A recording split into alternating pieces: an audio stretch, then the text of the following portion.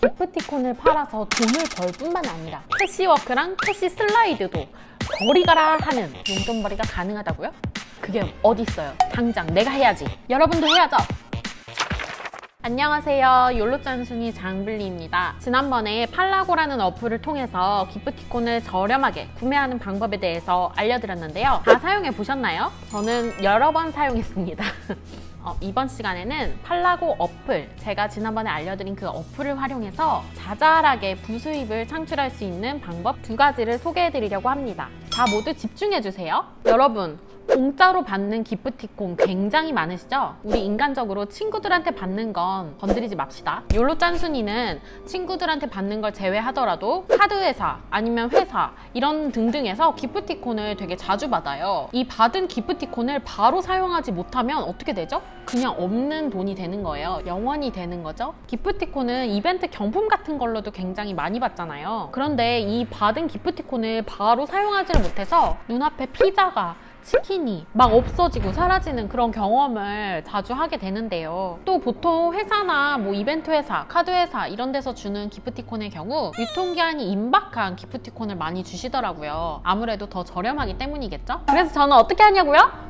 바로 기프티콘 구매 어플을 이용해서 임박한 기프티콘을 재판매해서 부수입을 창출하고 있습니다. 어차피 사용하지 않을 기프티콘이라면 이렇게 재판매를 통해서 현금화를 하는 것이 훨씬 더 나은 방법이겠죠? 실제로 모든 구매자 이코르 판매자가 될 수 있는 이런 팔라고 어플의 구조 때문인지 생각보다 되게 많은 사람들이 각자 기프티콘을 팔고 있으시고 최대 20% 정도의 할인가로 가격대만 잘 맞춰서 팔면 일주일 이내로 다 판매하실 수가 있으십니다. 물론 너무 비싼 가격에 팔면 영영 안 팔리는 경우를 보실 수가 있겠죠?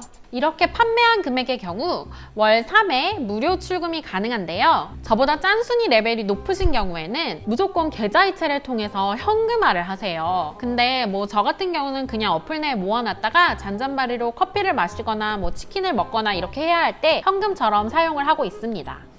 네. 살다 보면 생각보다 무료로 기프티콘을 뿌리는 업체나 기업체들이나 이벤트 회사들이 진짜 많아요. 이벤트 당첨도 되게 많이 자주 되거든요. 이럴 때마다 맨날 그거를 다 먹으면은 안 되잖아요. 살만 찌고. 그러니까 알토란 같이 이것들을 다 모으면 생각보다 쏠쏠한 부수입이 됩니다. 그리고 두 번째, 팔라고 어플을 활용한 돈 버는 방법은 바로 어플 내에 있는 무료 충전소를 활용을 하는 방법입니다. 무료 충전소를 활용을 해서 이 안에 있는 미션들을 수행한 후에 돈으로 활용할 수 있는 방법이 있어요. 그런데 여기 어플 안에는 이름이 팔라냥이랑 팔지멍이라고 되게 귀엽게 되어 있죠. 근데 안에 들어가 보면 이게 어느 앱테크나 다르지 않은 그런 미션 수행하면은 포인트 받는 구조라서 벌써 엥 이게 팁이야 하면서 저를 의심스러운 눈초리로 쳐다보시면서 이거 동영상 X 누르시려는 여러분 잠시 진정하시고 제 얘기를 들어보세요. 제가 다 설명드릴게요. 지구상에 수많은 앱테크가 존재하지 않습니까 여러분? 그런데 그런 미션형 앱테크의 경우 어때요?